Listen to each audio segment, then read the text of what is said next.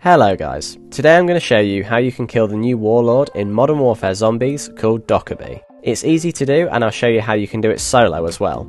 If you have friends to help you then it's even easier, but before we start if you're not subscribed, please click the subscribe button so I know you guys enjoy the content. Okay, so to get started I highly recommend that you enter a match fully geared. If you don't have some of these items on you, it might be worth going into a game to prep these things first, but none of this is required, but of course it just makes it safer and easier to complete this. You should have a few self revives, I'd suggest at least two.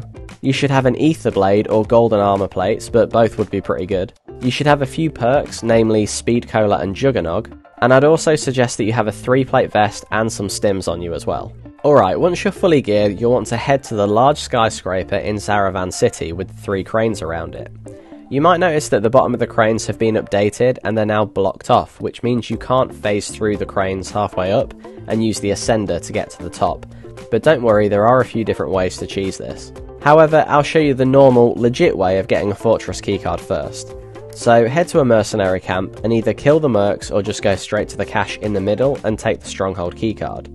Then head to a mercenary stronghold and clear it out and drill the safe. Inside the safe there will be a fortress keycard for Dokkaebi, now, take the keycard and head to the construction site. When you go to the ground floor of the building, you'll see a Wilson driving around that will attack you if it detects you nearby. It is fairly easy to kill it if you use the cover around you, and you have a decent gun on you as well. But you don't actually need to kill it though, because it doesn't drop anything, and it's not like the Wilson on Ashika Island that you needed to hack to get inside the fortress. So it's just there to cause you problems more than anything. So if you want to run past it, you can. Head into one of the lifts and then go to the top floor.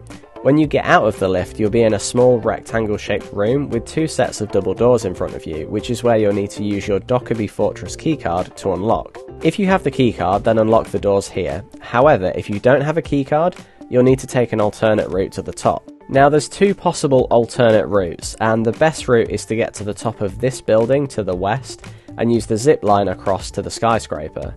Once you get off the zip, you can climb up the crates and over the wall to get into the main area, and then you can unlock the fortress doors from the other side without needing a keycard, so you can let your friends or other players in to help you.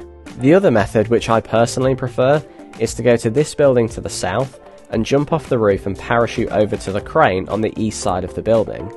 As long as you can parachute to one of the small square walkways on the crane, you can then ascend the zip line to the top of the crane and then walk across it to jump onto the roof of the building. Once you're in the fortress, the fight begins. There will be lots of bomb drones that constantly spawn in and will blow up, causing a small amount of damage to you. One or two won't do much individually, but if you let two or three blow up at once, it'll hurt quite a lot. Walk around to the south side of the roof and you should see Dokkaebi defended by lots of mercenaries and two sentry turrets. I suggest that you take out the mercenaries first and then take out the sentries. Mercenaries will continue to spawn in though once you've taken out the initial wave, but I would suggest focusing everything on Dokkaebi. She'll be surrounded by special shielded bomb drones, so take out as many as you can because it's likely she'll actually use these drones to fly away to the other side of the roof if you take too long. So try and tank all the damage you can and then focus fire on her. Take out the shielded drones around her and it'll be much easier to defeat her. Once she's dead, she'll drop a self revive for you. Now, mercenaries will still spawn in intermittently for a little bit, but then they will stop eventually once the fortress icon disappears from the map. You'll then just get lots of tier 2 zombies spawning in normally. After a few seconds, when Dokkaebi has been killed, a reward rift will open up which will contain a new blueprint called the Mediator. Unfortunately, unlike the hazardous blueprint from the early days of DMZ when it unlocked the blueprint 2 when you exfilled, this will simply become a contraband weapon for you to use in future matches. It won't actually unlock the blueprint to use in Warzone or multiplayer, which is quite annoying. It's an okay build, it takes out mercenaries reasonably well, but it does need Pack-a-Punch to really do anything against zombies. But that's how you take out the new Warlord Dokkaebi. Thank you for watching, please remember to like, comment and subscribe, and I'll see you next time. Bye bye!